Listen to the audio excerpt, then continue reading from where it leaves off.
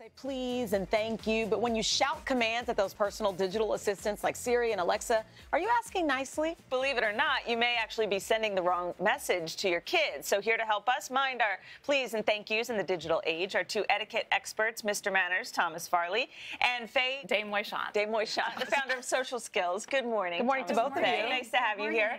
Um, so there are some people who can't live without these personal digital assistants, but you say you should be a little caution I think it's time to take about a little bit of a step back. You know, we're in the very early stages of all this. I think in five years, we're going to look back and think this is so primitive. But now I think is the opportunity to say our screens are already a conversation killer.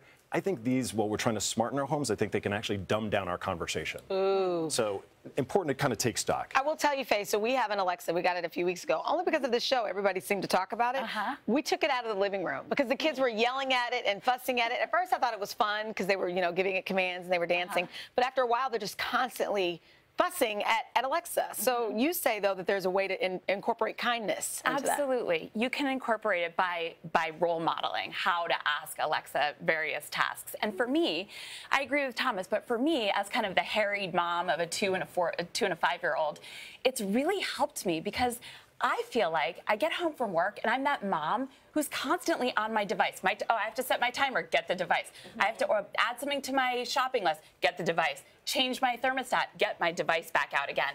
And for me, the Alexa has taken that out of my world. When my kids look at me, I'm not constantly connected to You're my not looking device down. because I can say, Alexa, can you add such and such to my shopping list? And the other thing is, the kids would see me on the device and then ask me, oh, I want to play a game. I want to do this. Okay, so you say you that." find the good in it because it's here. Yes, I, I really enjoyed that. But it's also important not to just be shouting out things left and right at Alexa or Siri. Sorry for all the Alexas that are going off right now. Right, right, right. and but you know, it's been wonderful for my daughter because she sees me interacting with it, mm-hmm. and even more so, my husband is has been more pleasantly interacting with all of us, asking, "Could you please, Alexa, could you please tell me the weather this morning?" Hmm. I thought, I thought it was interesting, Thomas. You were saying too to save your questions for an appropriate time.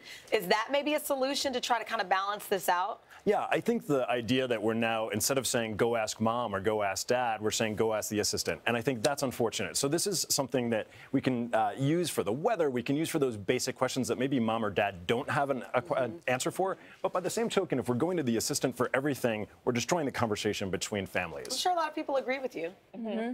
But I love it for the mundane tasks, the mun- mundane day to day. Turn on the music. By the time I've got found my phone in the house, gotten to the right app, I got four text messages. Oh, and a news alert went off, and I'm back on my phone for another five minutes. So then finally, do any of you guys have a line then maybe uh, when you can or cannot ask it something or, you know, times when, you know what, we're powering it down. Is that something that's important to talk about? I'd say certainly family dinner time, power it down absolutely, because if you're all barking commands, you're ruining dinner. And also, anytime you have guests over, I agree with as that the noise level goes up, right, you're screaming, and frankly, these devices aren't sophisticated enough to understand what you're saying at that volume level anyway. You wind up repeating the command 10 times. Mm, yes. Just go and do it. Yes. Turn up the music yourself. Yes. That's good advice. You're saying yes, so you agree. I agree entirely, particularly when people are over. You should try four six-year-olds around there. Alexa, Alexa, play this, Right. play that. Alexa's like, would you guys go sit down?